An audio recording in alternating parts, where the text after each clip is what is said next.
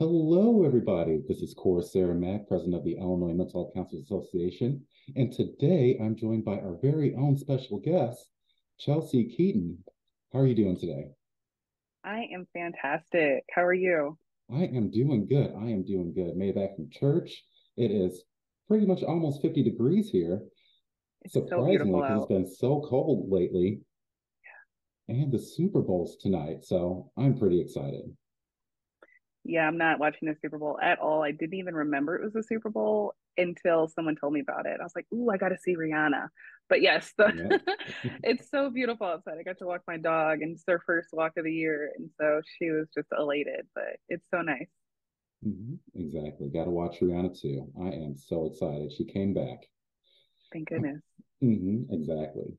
All right, so we'll go ahead and jump right in it because all your fans want to know how did you become interested in counseling? Oh my gosh. So, um, for starters, um, I so I went to Northern Illinois University. I got my bachelor's degree and my master's degree um, from there, and so it started in undergrad. Undergrad, and when I went to NIU, I was like, all right, I'm going to be an attorney. I'm going to get into like you know their law school. I had no, I just because it sounded good, right? I want to be an attorney because it sounded good. They had a law school and I heard it was good. Um, and then I took a political science course and I correlated political science and law school. And I'm like, I don't like this at all. This is very boring. It's not fun. And then I'm like, all right, cool. Let me try business. I didn't really like business. Um, and then I stumbled into, I don't even remember how I stumbled into it, but I stumbled into the, the, the major family and child studies um, and I think I stumbled into it because I took one of their classes like as an elective, and I love people. I love understanding the mind. I love understanding kind of like why people do some of the things that they do. Um, and so I stumbled into that major, and I specifically chose the track in that major that was going to require an internship because I was like, if I have the option to do an internship, I might choose not to do it. And I don't want to give myself an out. I want to just do it. So my um, my internship was at a counseling center. It was part of the, for those familiar with the NIU community, Sycamore DeKalb. It was, um, it was like the Kishwaukee Hospital. I think it's still called Kishwaukee, um, the hospital outpatient counseling center. Um, and that experience was so transformative. I've never, I've never, um, I've never been to therapy in my life. Um, well, currently, but not back then. Um, I never been to therapy. I didn't really I didn't really understand therapy. I didn't really know what I was going to be experiencing other than like what I saw on TV. And I had a friend who actually was in the um, counseling program at NIU at the time. So I heard glimpses of what she was talking about, but I didn't really know. And so when I got there, it was so cool because it was a multidisciplinary practice. So my supervisor, my direct supervisor, was an LCPC like me. Then we had an LMFT, we had a social worker, we had a psych nurse, and there were two psychologists, um, and there was um, two psychiatrists. So I got to experience everything, and it was I, realistically, when I walked away from there, I'm like, I want the boss's job. I want her job. She was the director, and she um, she was the LCPC, and she um, she did therapy, and she also did all the you know administrative stuff as well. She's the boss. Um, but I just loved how she. Uh, I loved how she um, practiced. I loved the relationship that she had with her clients, and I just just to witness that was just so cool. It was so cool, and um, they helped me kind of figure out what I wanted to do for grad school um, I was really kind of like gung ho for the marriage and family therapy program at NIU. Um, and that was a really, really great program. They accept very few people a year. It's like 12 people a year. Um, I applied. Yeah, it's like, it was, yeah. And um, I did not get accepted. And I was a little hurt. Yeah, right. Um, I did not get accepted, but I did also apply to the counseling program at NIU. Um, and I was accepted to that. And so just like learning about prior to um, getting accepted to the program because we had to go through the PAW. The PAW is like a very intense interview process um, um, to get into that program. But my friend who was in the program, she was telling me about it and just how transformative it was for her and how reflective that experience was for her and how it's really changing her as a person. and then also in talking to um, the colleagues who were at my internship, they're like, yeah, you could do a very specialized track. You could do LMFT, or I didn't really know much about social work at the time, so that wasn't really an option. But I could have done all of those things. But they're like, being an LCPC, you have some options. You can do just as much, and it's just as good. Um, and so that is the beginning of my counseling journey. Um, and that's how I became interested in it. And yeah, life changing that year. Oh yeah, one hundred percent. I did not know you did not get into the LMFT program. I am sorry. Jeez, it must have been a really strong process there. Yeah, like I don't know how they how they are anymore, but like either twelve people a year. If I misspeak, NIU folks, I'm sorry, but I feel like I was told or I read because I was really like I said, it was gung ho. Um, like at least like twelve, maybe to fifteen people like a year or like a semester. Like it was, it was rigid um, yeah, it wasn't meant to be apparently, and that's okay. Right, sure, it wasn't meant to be, but that was great because now you're here talking with me here. and an LCPC. So life mm-hmm. always finds a way. Absolutely, absolutely. So uh, it's funny, like when I like, I don't know if I was in in my mind, like an LMFT, and maybe I thought this when I was early grad school days, getting the LCPC degree. I was like, I'm going to be like the therapist to the rich and famous, and I'm going to be making a lot of money. I'm going to have this cute office, and it's going to be. All, I was really romanticizing like the field, right? And so I think that's part of why, like, part of why I wanted to do LMFT because in my mind, I'm going to just work with the rich folks who have marital problems. I'm going to be their therapist, the rich celebrities or athletes or whatnot, right? Which can still happen. It's not really a mm-hmm. goal. I don't really care at this point. I love my people. but somehow that that thought process was in there. I don't know. awesome. And also for those of you guys that don't know, Chelsie and I, we have a little bit of background together because we were both actually in the same grad school program together. If I don't think we went through the PA, which is a pre-admission workshop, but I know we were in the same program going through it. So I know you mentioned for undergrad and grad school, you went to NIU. So that kind of took away the second question. So I'm going to ask you a little bit of a surprise question. Don't worry, nothing bad, Ooh. I promise. What I'm would ready. you say is your favorite class during grad school? Favorite class. I have two. Can I do 2 mm-hmm. One of them was a more experiential class. Um, think is this accurate? Let's think. Yeah. So my first class that I'd say that I liked the most was practicum because practicum stretched me, right? Um, I'd say practicum and group are kind of on the same because group introduced me to therapy in general. Because in group in our group class, we learned group theory. I think no, not group theories, just like how to facilitate like therapy groups. We had to participate as part of the class in a therapy group, and I had never done that, and it was cool, so cool. I love therapy, y'all. It's so fun, so cool. Um, so that was like my introduction, and I really loved it. And then also, practicum stretched me because I was scared. I was very scared to be the expert in the room with these people in their lives in their problems and and I'm not a real professional yet I'm a practicing professional so it's like I hope I do good I hope I don't like screw somebody up um but I didn't. I hope. Um but I but I did not. Um and I grew a lot in my confidence in that class. Like my confidence went way up and I just kind of learned I think it was that class and the other one that I'm about to mention, where I learned that I am most effective when I am being myself. And so when I can allow my personality to show in any setting, I'm I know I'm going to be effective. I know that that rapport is going to be there. I know that I'm going to be able to alleviate whatever anxiety, worry, imposter syndrome that I have because I got this, right? So that goes into my second favorite class, which is was um it was the uh, what was it it was mm, it was the career teaching class did you teach oh no i didn't teach okay so it, i think it was like uh like a section of the career planning course i think because we all had to take a career course oh yeah the college um, 101 yes Um, but there was um, an, an option for us to be able to teach, and it was still a class. Um, but we taught about um, career planning and career, career exploration. And again, that class stretched me because I was super scared and I was super scared to talk in front of people. But I'm like, wow, what a great experience. I get to teach, I get to practice teaching, and I get credit for it. Um, and so at first we started with two instructors, but people um, withdrew, or maybe the class sizes were too big. And then it went down to one instructor. And then I was just like shaking in my boots. I didn't have on boots because it was summer, but y'all get it.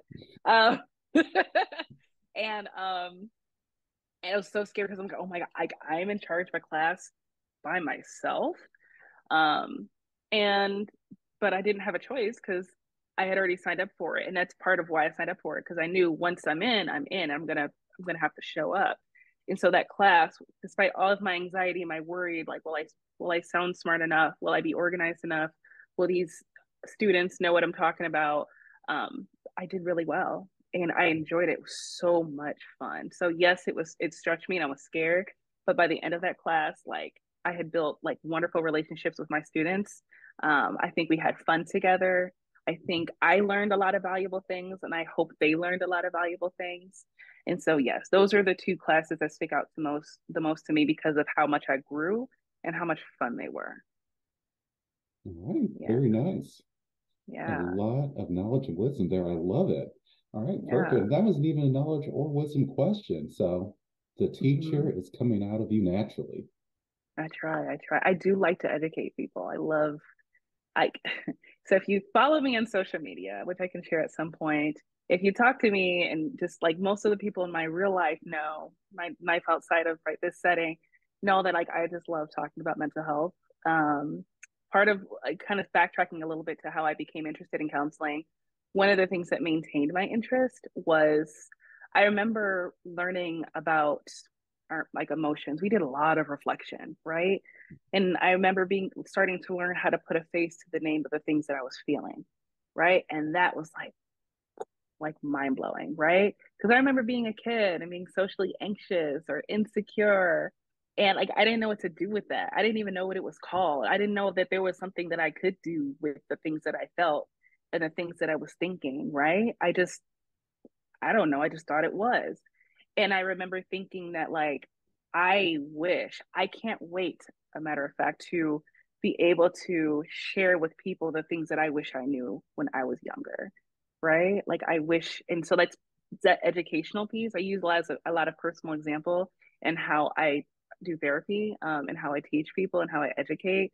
Um, I, I, I guess I'm rambling at this point, but I, I, I always go back to that feeling of like, wow, I wish I knew this when I was 18, 17, going through that breakup, doing that presentation and my hands were shaking, right? I didn't recognize that they were breathing techniques and whatnot. So yeah, education is is I went on a little tangent there, but education is like a big deal to me. I love it. Mm-hmm. And it's fun. Oh, I believe it. Never again for me, but this isn't my interview, right? This is your interview. All right. So you take these classes, right? And then, you know, you keep going, you keep plugging away, you keep chugging along, and then eventually, boom, you graduate, right? You're out there in the real world. So how long have you been doing therapy for? Well, what is it, 2023? Mm-hmm. I graduated I graduated in 2015, December of 2015. So what is that like? Is that eight years? Yeah. Eight years. And that's like not including like internship experience. And I count that because well, like it's clinical work. Mm-hmm. Um, so I'm going to round it up and say about a decade I've been in this space of therapy and practicing. Oh, yeah. very nice. It's I wild to say. practicum too. Mm-hmm. Mm-hmm. Yep. Then yep, it's been a decade because I I started in 2013. Mm-hmm. Yeah. Oh wow, the time sure has flown, hasn't it? Sure has.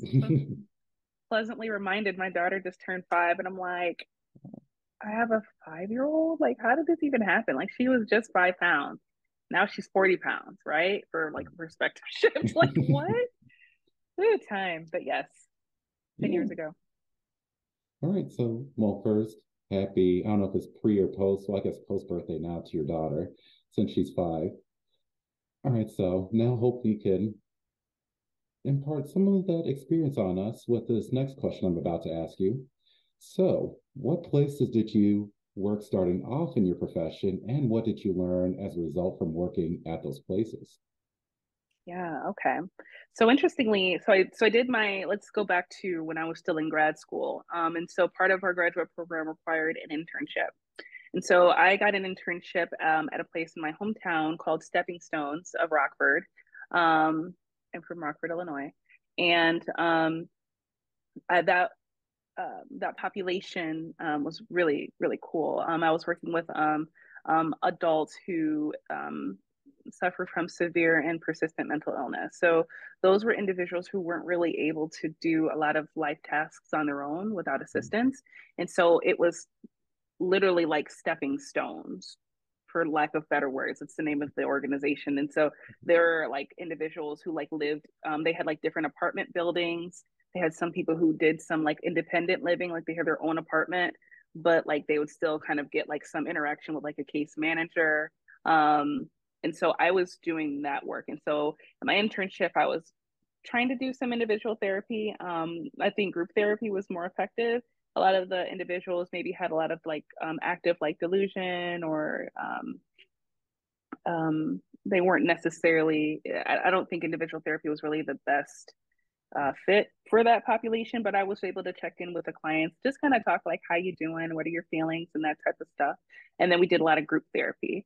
Um, and so I, I mentioned that to say they hired me um, after I graduated. I think I applied for like a maybe like a manager, a case manager or something like that, or a program manager, or they hired me as a program manager and I wanted to be like a like a director. So I'd be over like my own apartment, um, like my own apartment um, complex, I guess, for lack of better words, because hmm. um, each one focused on different things. Like there was teenage girls, there was I think maybe teenage boys, there were some adults, um, there were like the elderly in one setting and so um, I I started out doing case management before I applied for the director position. Ooh, I hated case management so much. So much. It is not for me. Bless the people who do it. It's not like helping people manage their budgets, um, freaking helping them with their medication and just like the real tedious stuff, checking on people, making sure they're up to you know, did you take a shower today? You got to make it to group. Do you, you got, do you have food and groceries? And it was just, um, it was not, it was not for me. Um, and I found myself like working, like I would go into work at like eight o'clock and I wouldn't leave work till like six, seven, because it was, it took me a long time to do it. Like I just, my brain wasn't wired for it. Like I didn't feel like I was effective. Um, I don't necessarily think it questioned me to smart to question how like smart I was or anything like that, but I just was like I didn't like it. Um, I was grateful for my job because it was in Rockford. It was five minutes from my mom's house. I was living at my, with my mom at the time. Uh, it was like my first big girl job, um, and so I three months into there, they had they had um, I want to say they had just either chosen me as a director because I um, I applied and I, I interviewed and they wanted to hire me in that um, I ended up turning them down because I then, um, in the process of me working for them as a case manager, I was also applying to other jobs um, because I'm a new graduate, and that's you know what new graduates do. You apply for various you know jobs elsewhere just to see. Um, so I applied for a job, the job that I am currently in now um, with Liberty Healthcare, um, and that was way downstate in a little town called Rushville. And me being from Rockford, I'm like, Rushville must be a Chicago suburb. All right, let's. it's clearly a Chicago suburb. Like, why would anybody else? There is no place else in Illinois other than the Chicagoland area. I knew no better. Um, so I get a call from this company, and they're telling me about. I had just accepted the position as a as a director of you know of, of the program or something like that, and um, I get a call from this company, and they're like, "Yeah, blah blah blah. You submitted an application." This is kind of what we do, blah, blah, blah. And I almost was getting ready to say, no, thank you. I just accepted a job. But then I was like, well, what is your pay range? And they're like, we're starting at this dollar amount. And that was $20,000 more than what I was making at the current place. Yeah. Yeah. So I'm like, oh, okay. Yeah, I'll come down for an interview. That was in, I think that might have been in January of 2016. It was in January of 16, January, or February of 2016. I went down there for an interview down to the facility. This is an inpatient facility. This is the beginning of my forensic work that we'll get into. Um, it's an inpatient uh, detention facility um, that is kind of built like a prison, um, but I won't get into the details of that. Um, but uh, so I went down there with a five hour interview. It was very holistic, very, very holistic. Yeah. Um, just me all bright eyed and bushy tailed. Um, I, you know, I interviewed with one group of um, of individuals who were like team leads over different clinicians, another group of individuals who were team leads over clinicians. I got to meet with a clinician who had worked there, who was a seasoned clinician, and then I got a tour of the facility, and then they took me out to lunch. And I was exhausted. And then I got a ticket on my way home. That was kind of a bummer. Oh, yeah. on my way back to Rockford, I got a ticket. Um, I think it was in Moline, Illinois, or something like that. Nonetheless, um, I uh, let's see, what did I learn as a result? So what's where did I start off working in my career? That's how that's how I got started. So my first job was Stepping Stones, working with a severely mentally ill population. It was a really great group. I have a lot of compassion for that population. And then I started working with Liberty Healthcare. Um, I knew I had, and so specifically with Liberty Healthcare, um, those those clients are um, um, sexual offenders. So those are individuals who have committed sexual offenses. Um, and my one of my licenses is licensed sex offender treatment provider. And so since I began working down there, I have been licensed to work with that specific population. Yeah. Did I miss any questions? I was just going. oh no, that was perfect. No, that yeah, was great. Okay. Okay. You learned a lot. right? Yeah, I did. When I when I think about it, when I start talking like out loud, I'm like, all right, these last eight years have been a journey. mm-hmm. Yeah. All right. So speaking of this journey, right? As we all know, this month is Black History Month. So I yeah. mean, true, you know, a lot of different things that are being talked about and things that I interview people about, especially clinicians of excuse me, clinicians of color or black clinicians especially. True, I believe it shouldn't just be tailored or honed in to one specific month. This is something that we need to talk about all the time.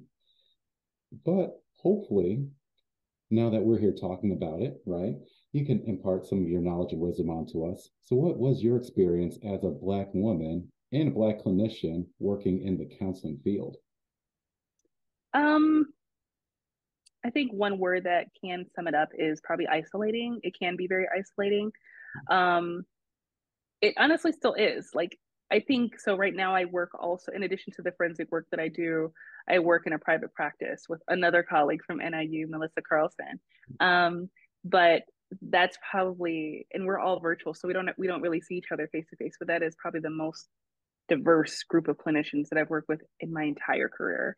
And so there's four Black clinicians uh, maybe I think four or five, but it's been isolating. And so backtracking a little bit when I was working downstate and currently with the forensic work that I do, because now I do outpatient, I don't do, I don't work in the detention facility anymore. Um, I have, I'm usually always the only Black person. There might be uh, from the state, it's a statewide program, right? So we work with the Department of Human Services. Um, so Illinois Department of Human Services. So it's like statewide. Uh, and there's just there's just not a lot of black clinicians there in when I in my duration downstate at the at the detention facility, um, I was maybe there for like two years. Um, there was always maybe one or two other black clinicians and so whenever i got a chance to work with another clinician of color it would be kind of like this unspoken like you know i see you like if we need to kind of vent to each other um, or just connect with each other uh, because it how do i say this? Central illinois can be um, not the most culturally competent environment for lack of better words um, and it and it shows and you can feel it as a person of color especially when you go, start to go more rural um, and so there were things that we would see within the within that facility. We were things that we would we would maybe experience in our own lives you know outside or living around that facility. Um you know experiencing racial microaggressions um amongst staff members sometimes with clientele. Um experiencing i won't i don't think there was any there was no overt racism that comes to mind but there was just a lot of need for cultural competence in that in that facility. Um, there was an opportunity for me to i almost did kind of host some type of cultural trainings but it just never ended up working out. Um, it was always my vision and it still is a vision going back to like training it's always been a vision for me to like i like go into companies or you know just different environments and breaking them down into small groups where we're able to have like real kind of in-depth conversation about like some of the kind of the, the deep stuff of cultural competence of racial microaggressions of un, um, unconscious bias or and stuff like that. And how because sometimes i think when when when when they bring in someone to talk about cultural competence to train not train because they're really training um, but to train people like it's very surface level.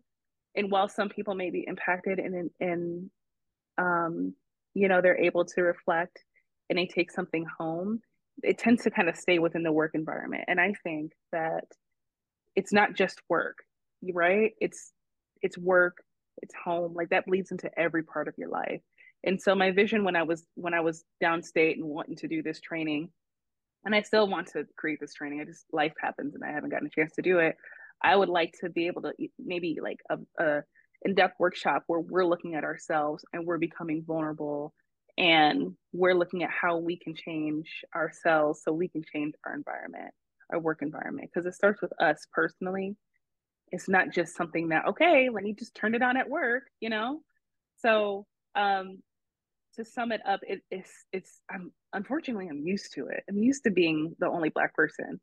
Like right now in my office i'm i wasn't the only black person we had another black clinician recently. Um, but she explored career options elsewhere but it just kind of always is what it is. Whenever i see another black person who works there we always try to connect and make sure we have a good relationship because that's important to me. Um, so yeah hopefully things change in the field and we get more clinicians of color. I also mm-hmm. want to highlight too, like so in pri- so I talk a lot. I've been talking a lot about my my forensic work, but I have not highlighted my private practice work enough. And so I'm so grateful. I am really grateful for Melissa Carlson Counseling. I'm so grateful for Melissa. I hope she watches this. Um, because I love that experience. I really do. And I love that like most of the clients that I got that I have are black and brown people right? There are people who look like me, there are people who talk like me, there's different cultural references that we get. And um, most of my referrals come from therapy for Black girls, right? And I love that I get a chance to work with clients who um, I guess that we can almost relate to each other in that way, right? And so, like, it's not obviously therapy is not about me; they're paying me to provide a service. I get that, um, but I a lot of the feedback that I got that I get from from clients that I work with is like their ability to just kind of just be themselves. You know what I mean? Like, there's just certain things. There's hair stuff. There's just you know jokes that we get with each other um, that just adds a different um, layer of rapport and safety. And so I'm so grateful for those clients and the experience of private practice because not only do I get to work with um, black the other black people and brown people, um, but like I am working with people who are a lot like me, right? And so my forensic work is all men. I work with all men all freaking day, right, for years. And now I work with men and women who are similar to myself. So it gives me a different experience and it just kind of lights me up for lack of better words. I'm so corny. but that's how it's been like so far. All right, very nice. I'm happy to hear that. Speaking of that, yeah. trainings, all that other stuff, private practices, you are a very busy individual. right, so let's talk yeah. about some of that other stuff that you are super busy with. So, for those of you all that don't know, Chelsie does a lot of stuff that we're going to get into. So, one of the first things that we're actually going to get into is her own business, Caidence. So, what led you to want to start your own business? Um, so what led me to do to start Caidence was uh was starting independent practice work. So I am a contract and contracted employee for, you know, Melissa Carlson. And so it's like, all right, cool. I gotta like make it legitimate, right? I gotta have a business, you know, the the, the that because I am technically an entrepreneur in that way. Um, and so I started an LLC. Um, my daughter's name is Kaden, and um, I thought about when coming up for the name of Caidence, I was wanting the kind of tagline to go with it is your rhythm, your your flow, your cadence, right? And so cadence is just kind of like a steady rhythm of balance, just kind of keeping things kind of even keel. I'm also in a sorority, and my sorority name is Harmonious, Harmony, and so that's also kind of a synonym of cadence, right? And so I was like, all right, well, Harmony is not the cutest name for a business, and cadence is Caden, no, cadence was was sounded like what I wanted it to be, and then I spelled it with my daughter's name in it, and so mm-hmm. that's how the name Caidence came about. In terms of what I do with Caidence, and so right now Caidence is like a kind of, and we're still I'm still in development with what I want to do. I think a lot of the things that I'm talking about are things that I currently do, but things that I want to do career wise. So like I do do some public speaking. Um, I obviously am do therapy. Um, outside of my W two um, with MCC Melissa Carlson Counseling, um, and then I'll probably do I can pick up other contractual work through my business, right? And so all of those things are underneath Caidence. I also have an online platform where I'm always talking about mental health because clearly I'm a mental health nerd um, in the best way. Um, so if you follow me on social media, um, then you'll see um, I'm not the best at posting myself. I'm working on it, but I post a lot of mental health resources. Like I just, uh, and people really reach out and they're like, thank you so much for sharing this. I didn't realize this. You do a really good job of normalizing things. And that makes me feel really fulfilled just kind of hearing those things and just being able to share that with people who choose to follow me. And so I would say that Caidence is really a platform to promote mental health and wellness, specifically within the Black and Brown community. Um, what I, I literally work with everyone, um, but I really have a special place in my heart for um, Black people, young Black people, young adult Black people who are trying to figure themselves out, who are trying to manage boundaries, who are trying to figure out what this thing called anxiety is, who have some trauma, who might be dealing with depression, and want to figure out how to um, have happier, healthier lifestyles. So that's what I do at Caidence stay tuned because we're more is coming. All right, perfect. I am happy to hear that. All right, so yeah. the next question was what led you to choose that name, but you already answered that. So to substitute that question, I'm going to add on a question after this question. Don't worry, it's a fun question, I promise. But I know you talked about this a little bit. So are there any special projects that you're working on at Caidence that you want people to know about? Yes, yes. And so um, I am part of, um, I wouldn't say that it's necessarily under Caidence, but I guess what I do as Chelsie, um, things that I'm a part of as Chelsie. And so um, there's one, um, man, how many things am I involved in? My gosh. Um, so I have one called The Squad, and that is um, something that's very, very new. We launched it in 2023.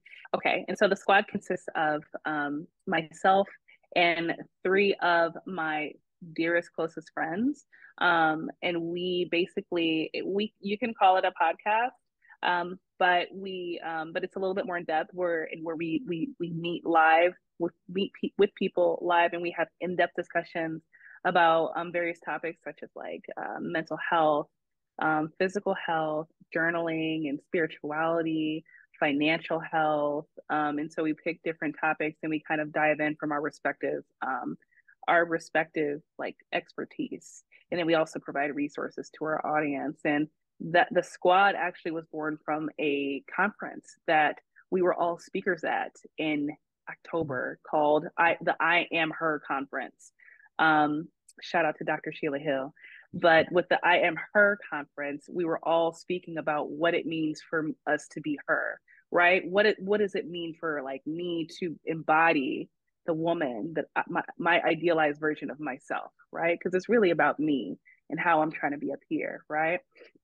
How can I be a wealthy woman, mentally a, a wealthy woman? Because wealth is not just about like, oh, I've got a million or two million or a billion dollars, right?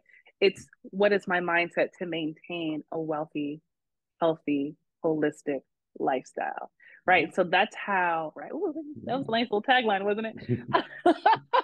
but so it, the squad was born from that panel because the audience was like, and this was in person, and we had a, a pretty big audience, and they were like, "We love you guys, and we wish you could have been on more.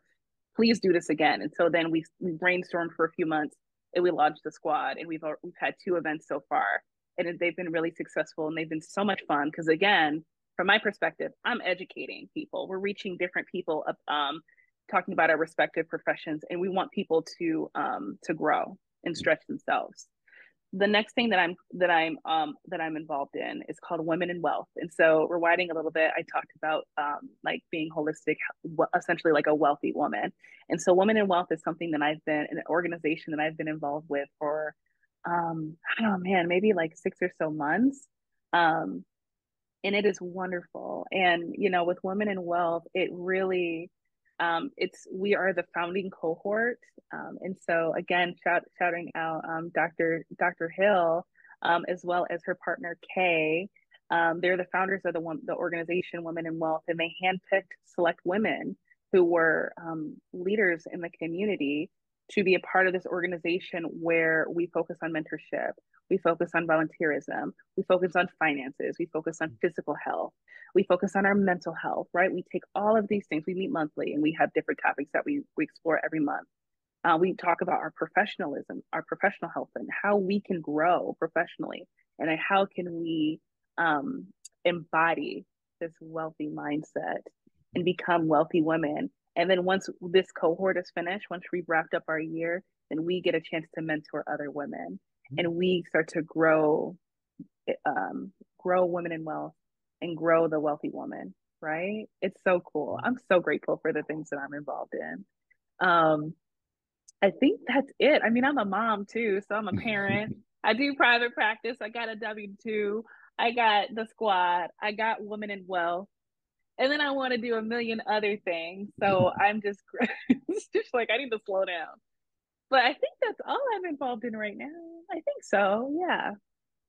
All right. Perfect. All right. Yeah. So before we get into the next one, I'm going to slip in that surprise question in there. I guess it's not really a surprise question because I know you mentioned you were a part of a sorority. So if you want, you can give them a shout out.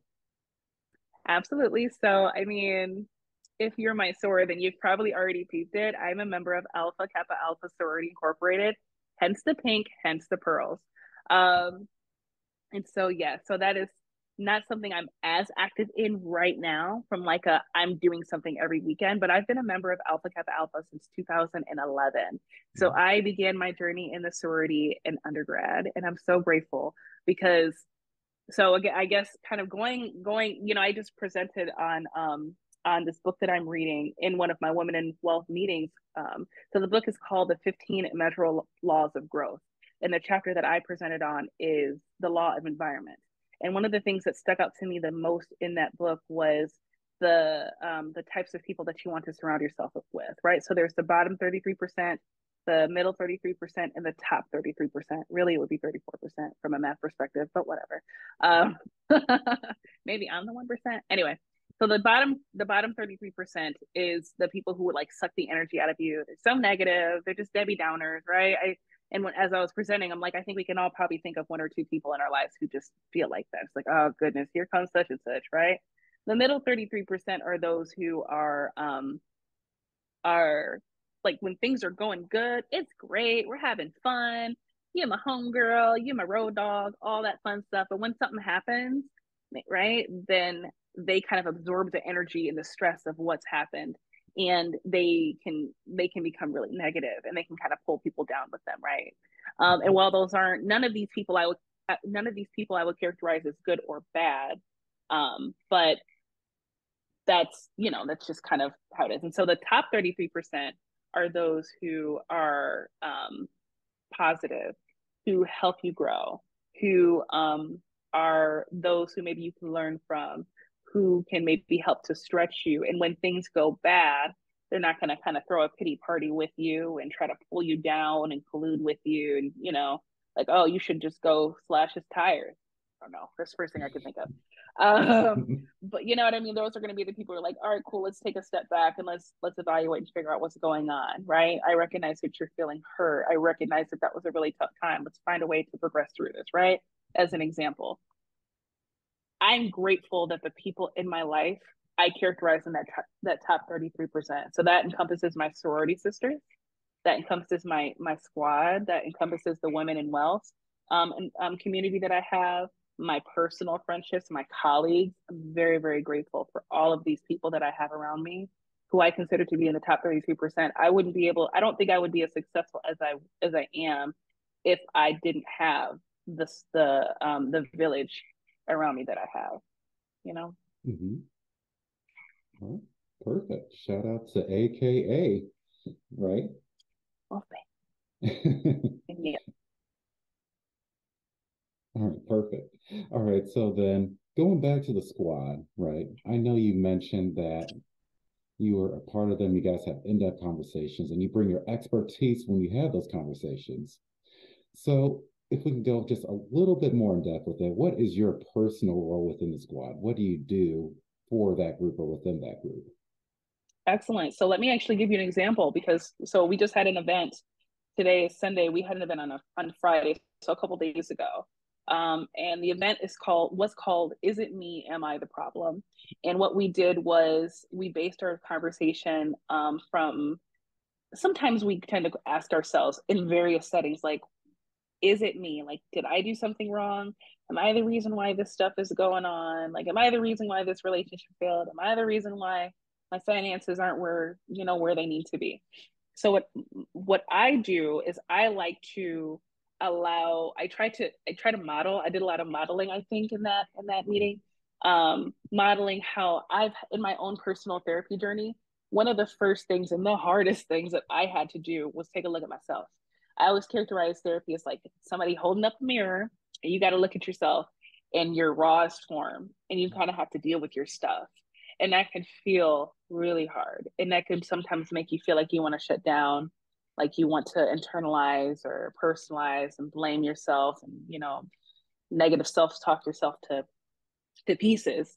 Um and so you know I, I i provided like an outline of like how sometimes i had to recognize how i was the problem and that doesn't make me a bad person. That doesn't make me wrong. I had to learn how to also recognize my role in different dynamics and different areas where i needed growth and how to give myself grace in that process right? Um and i guess one of my i guess therapy philosophies what i try to bring into like the therapy session with my clients is like self-compassion. Like how can you be nice to yourself?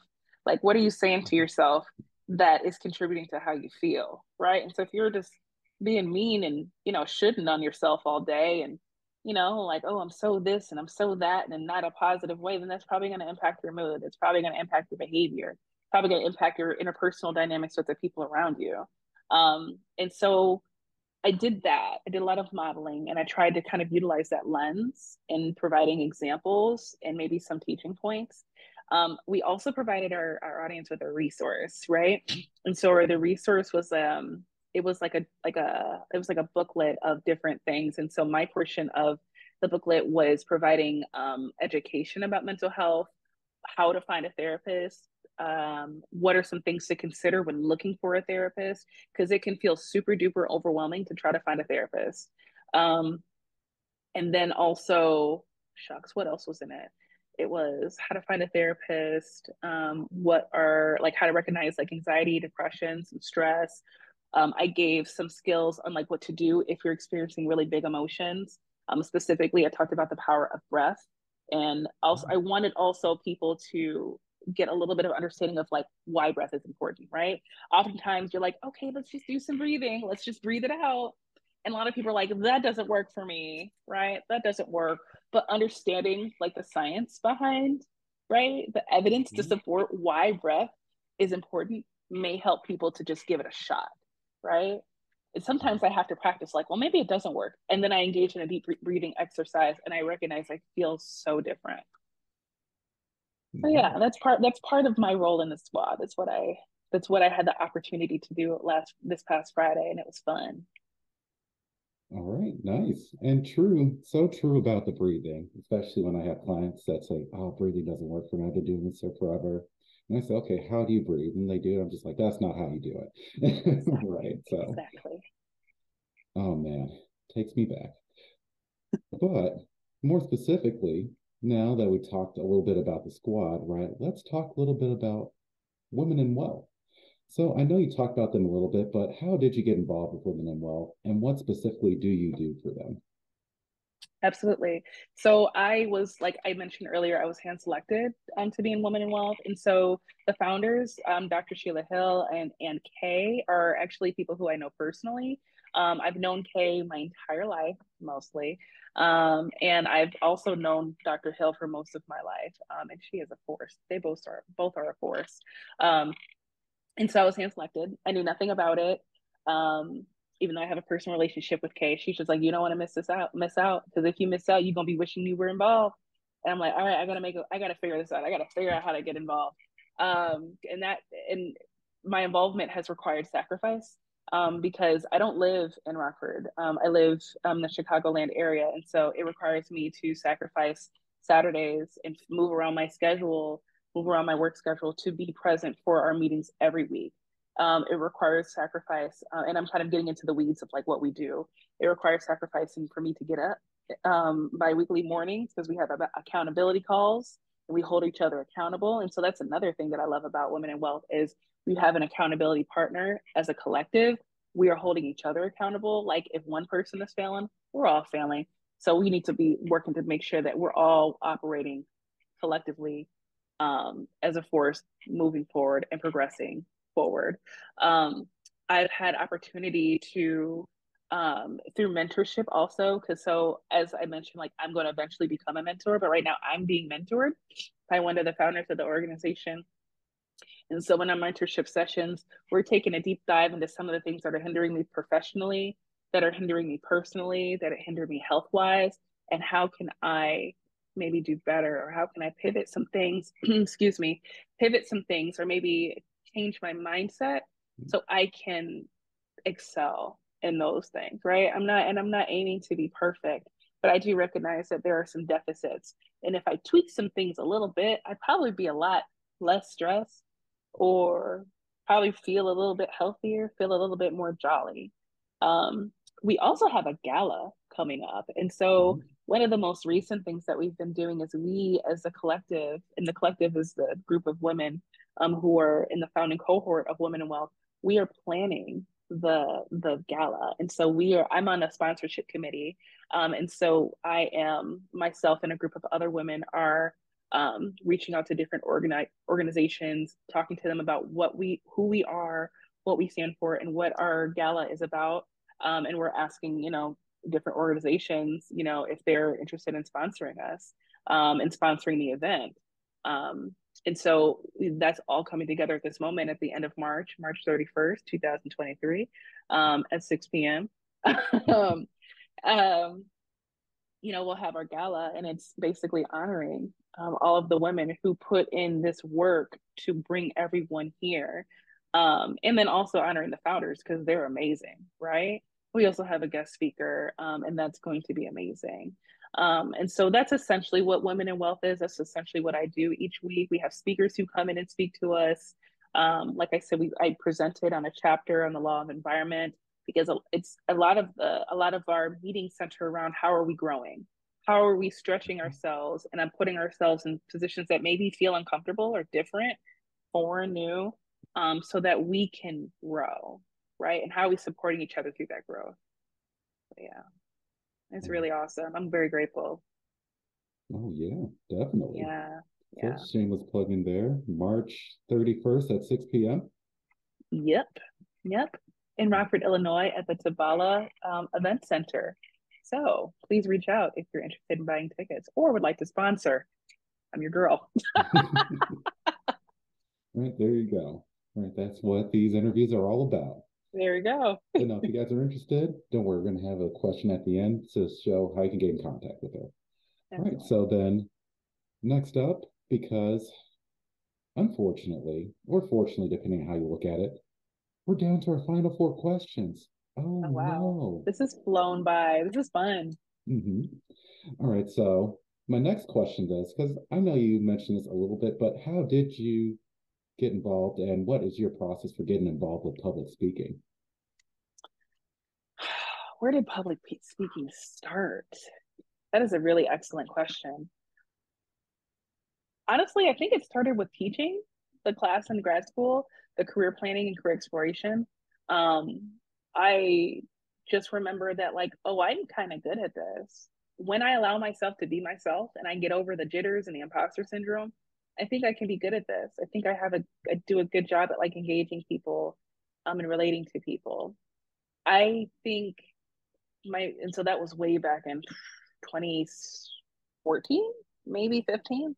Um but I don't think I had my first real like public speaking engagement until 2020 or 2021. Um and it was virtual um, and I spoke at a high school for for high school students, being a colleague of mine, and we spoke on systemic systemic um, racism, um, and we talked about like different tools and skills, and we talked to the students, and it was really cool. And me and um, that colleague of mine were sought out for that. All the speaking engagements that I've done have not been like, all right, let me go look. Like people just reach out, like, hey, would you like to speak at this? Which is pretty cool. And the next one was, um, uh, I think it was called Women in Wellness Conference. Um, and the the founder of this conference is also a soror of mine, Bria. Um, and she reached out to me. She only met on the internet. And she was just like, You have a great online presence. And I would love for you to be a speaker, a panelist. And so I got a chance to speak with other really dynamic women. Um, I got a chance to speak um, um, at a church, um, focusing on like how you can merge mental health and spirituality and religion and within the church the two don't have to exist separately. That one was really cool and i ended up speaking for like two hours um, and then i did the panel um, back in october and i may have done a couple of other things as well. Um, but you know the opportunities that i've had thus far i've been grateful enough to just know people and they're like hey you're a mental health therapist. You have a wealth of knowledge. Can you please come talk to to people and share your perspective? Um, and so I, my goal is to be a little bit more intentional about that as time progresses and like host workshops or you know partner with businesses and educate business you know their staff on you know various topics and whatever they need. So yeah it's been really it's been a cool experience. Mm-hmm. very nice. And definitely businesses do need that stuff. So there is a gold mine of business out there at those businesses mm-hmm. crazy pun, but I mean, I don't make the stuff up; just comes naturally. Mm-hmm. naturally. All right. But now that we get into our final three questions, because again, all good things must come to an end. So, is there anything that you'd like to tell people that are either starting out in the field or have been in the field for a while?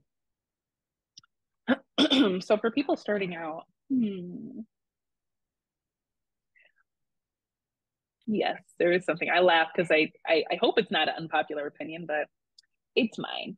Um, you do not have to um, take on the mindset or the comment that you may hear that we're in this for the people and not the money.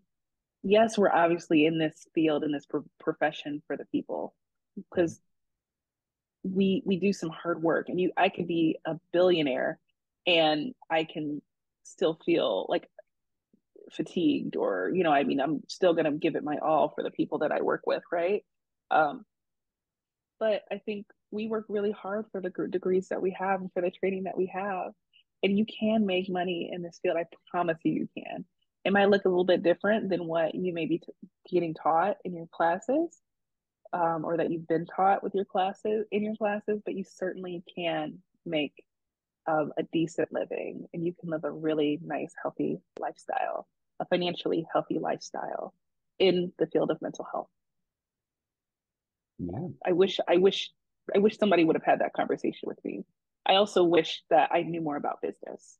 Um, because yes, this is a people game. We don't know enough about business, in my opinion. No, that's true. That is 100% true. Great unpopular opinion. Who knows? It might be popular or more popular than you think. Who knows? I'd love to have some conversations with people about it. I, man, that'd be great. Mm-hmm. And then, second to last question, unless you're going to say something else.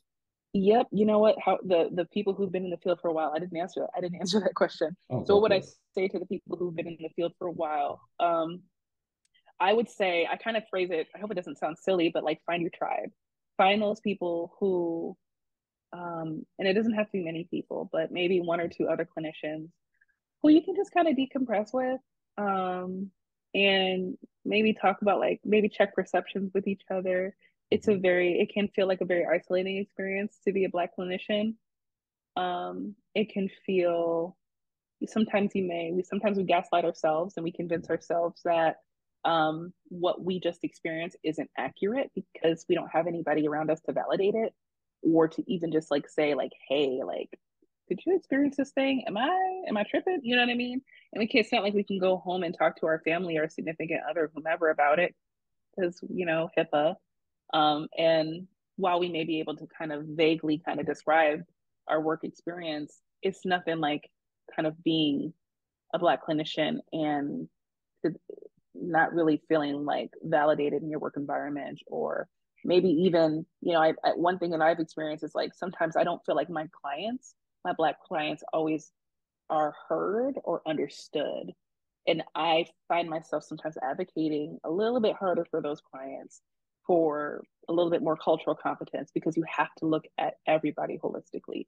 You can't just look at their current behavior. You've got to take a look at like their cultural background, their upbringing, their respective trauma if they have trauma, right? Um, that is specific related specifically related to the black experience, right? Mm-hmm. So find a person, find a tribe, join a networking group. Um, shameless plug, one thing that really helped me um, as sometimes Facebook groups. I'm not the most active on Facebook groups, but I'm in one called Clinicians of Color in Private Practice. You heard of that one? Mm-hmm. Yeah, yeah. I think people share some really good information on there. Um, if you're having an experience where like I just wish I could connect with people, you know, you, there might be other clinicians in the, your respective area that you don't even know are there, and you could just like, hey, I want to meet up and meet people. So yeah, that'd be my advice for people in the field now. Perfect. Great advice. Great advice. I mean, that's true. I'm not going to get on my soapbox about that either. But just to say a little bit about that, I mean, it is an unpopular opinion, especially starting out in school, because it's like you shouldn't be in this for the money because you're not going to make a lot of money. But thankfully, as time progressed and as I've surrounded myself with other professionals, they're like, no, Coresair, that's BS here's how you make money. Do this if you want to be successful. And I took that and I've ran with it. There we go. As you should, as you should. And I wish more people would, right? Because we can and we deserve that. We work really freaking hard. Mm-hmm. Yeah, we'll both get in the soapbox. I'm going to be quiet. All right. Hopefully, don't get too far off your soapbox for this next question. All right. So, second to last question before it gets to the most important one is there anything that you would like to say that I haven't had a chance to ask you? Um, well, you know, maybe we can talk about self care. I think self care is pretty important and recognizing the importance of boundaries. Um, because that's one thing. So I'm not saying that I'm a money hungry therapist, but I do enjoy a, a certain lifestyle, right? Um, I, I like nice things. I like Starbucks um and but so in order to be able to afford nice things you know you got to work um and so i have to be careful that i'm not pushing myself too hard whether it's with and it's with everything that i'm involved in right my extracurriculars my volunteer um my um my w2 my uh, my private practice parenting like just everything and so i have to be vigilant of when I am physically starting to recognize signs of burnout and knowing when to be in a space where I'm where I need to walk away. And that doesn't mean like I'm walking away person per, like per, um, permanently, like peace out forever. But it's like I know I need to take time off. Like I need to take this Friday off. I need to completely just do nothing. I need to not think for like a week about other people's stuff. Um, and I think it's important to feel to be in an environment where you feel safe enough to do that, right? So that's if you choose to be in a W two job, which is a you know place where you get a paycheck and they take out taxes and all that jazz. Um, if you choose to do that, like it's my hope that you feel safe enough to do that, um, and that your employer, supervisor, whomever respects your burnout and your boundaries enough to be like, okay, cool, we'll figure it out. And so you can operate the best that you can. Because if we're not, if we're not taking care of ourselves, then we're not able to take care of our clients. Um, and I sometimes have to give myself that pep talk when I've got a full day and I'm tired or didn't sleep well, or maybe I've got another stressor going on. Um, I need to make sure that I'm really intentional about my time. So instead of like, so Fridays are usually my busiest day. I'm in session from like 8 30 a.m. to like 4, um, yeah, like 4 ish. And sometimes if I have no cancellations, I'll have a one hour break. I could do notes. I could do notes on my one hour break. Um, but oftentimes I choose to eat and I choose to take a 30 minute nap so I can get through the rest of the day. Um, and that, ooh, when I tell you that 30 minute nap is like, it really helps me show up for people because I don't know how I would be able to do a straight day without that. And so I, that part of part of what I'm saying too is like I have to know like what my boundaries are. I know I if I don't get a if I don't get a break in the day, I'm gonna be no good for the second half of my day. So I had to build in a lunchtime for myself. Um, and I know I can't see more than like seven clients in a day. Like that seven is whew, that's a lot. And it may not sound like a lot, but my other clinicians know. Like you're literally kind of pouring into people all day, and it and you're switching kind of stories, and that can be me- mentally taxing. And so just know your own boundaries. If you don't know what they are, start to start to pay attention to like what you're feeling throughout the day.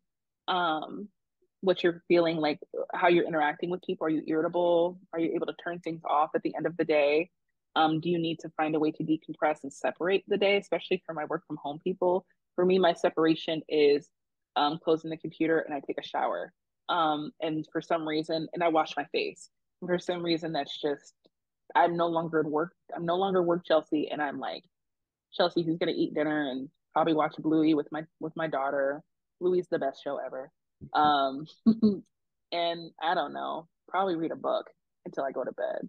So yeah, I, I think that's one thing we didn't get a chance to touch on much, but we all as clinicians just need to be really mindful of.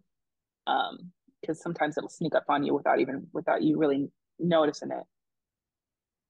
Yeah, definitely. 100% agree. Do not burn yourself out. Take care of yourself.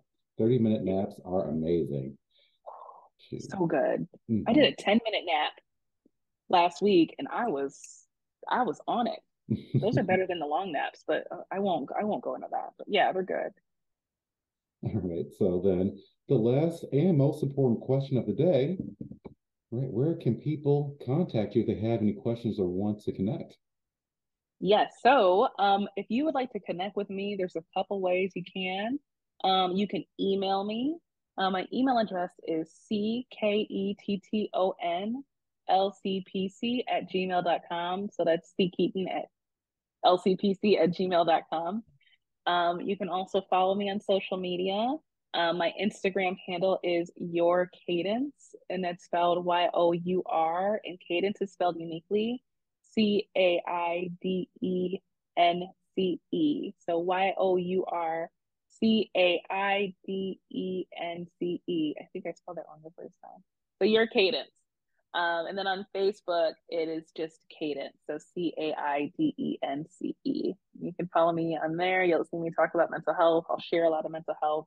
I'd love for you to engage with me. If you have any questions or would like to work with me, honestly, um, feel free to reach out to me and we can chat. All right, perfect. You hear to hear, folks. She is open and ready to chat with you all. All right. Other than that, then that is about it for this interview. We're going to definitely have to have you back on for part two because we need to get into a lot more stuff we didn't have enough time to talk about today. I'm down for it. This was super fun. I love these types of things. All right. Perfect.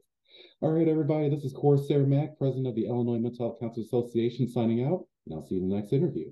Take care.